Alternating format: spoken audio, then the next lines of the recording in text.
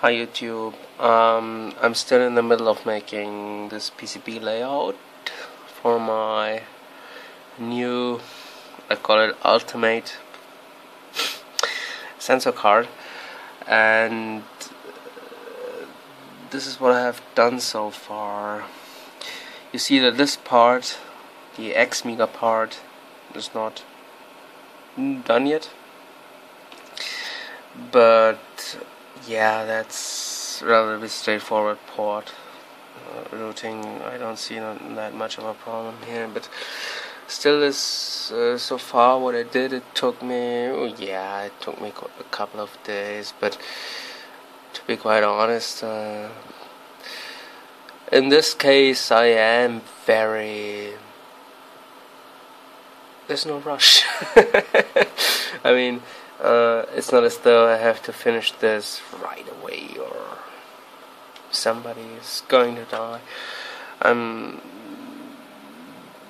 layout like this. I want it to be. Uh, every new layout you make is like, and hey, I want it to be as good as it can be, and this means you're going to start optimizing tracks and look at this for a couple. I mean, this is always important. I think um, look at your layout for a couple of days at least before you finally going to produce it because. Uh, if you do this yourself or you need a PCB manufacturer, that doesn't make much of a difference. Look at this layout, and maybe you see something like an mm, this I could have done better. Uh, my layouts are naturally. Manual, there's no auto router that can do a job like this. And uh, especially if you, uh, this video shall uh, address one specific problem when it comes to PCB layouts. Yeah, no, my battery's empty. Uh, and this is um, problem with ground planes. You see that um, I cannot tell my PCB software, Eagle in this case, that this hole, through hole here, is not through plated, which means that always if there is a top ground plane like here the red one and this ground plane they intersect as you can see but you need to see this. This ground plane here, yeah, yeah, yeah, yeah, yeah, here, this ground plane, it's completely separated, and the problem is that that is uh, a switch that I cannot solder from the top, and that's a problem. Uh, if you do PCB layouts to be manufactured by yourself, I mean that is in your not through plated then you have the problem that um, the PCB layout will always say, yeah, it's connected since it is connected from the upper plane. Problem is from the upper plane you cannot solder it.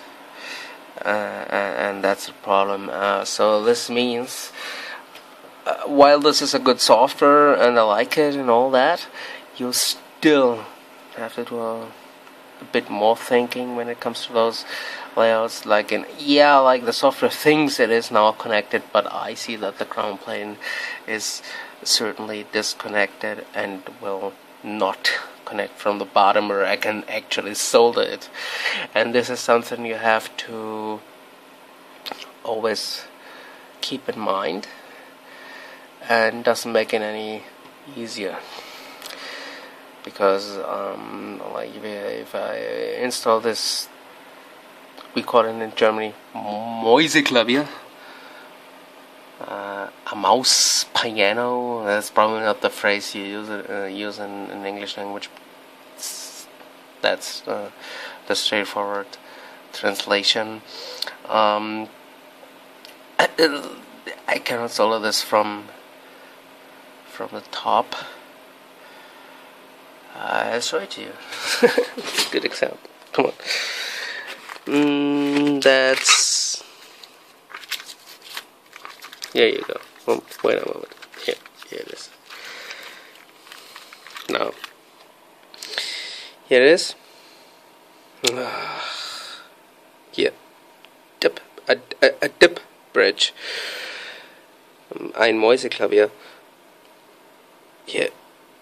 Uh, as you can see, here, here are the pins. I cannot solder this from the top of a PCB because, as you can see, I cannot reach it with my solder iron. And that's something you have to always think about. That that doesn't make um, your job of uh, layouting a, a PCB for self-production any easier. But okay, I think, I hope that give me a couple of more days and this thing will be finished. And I, I am a little eager to make this thing finally go into production here, right here. You know, uh, I'm eager of making an, a new PCB. Uh, but yeah, you know how it is.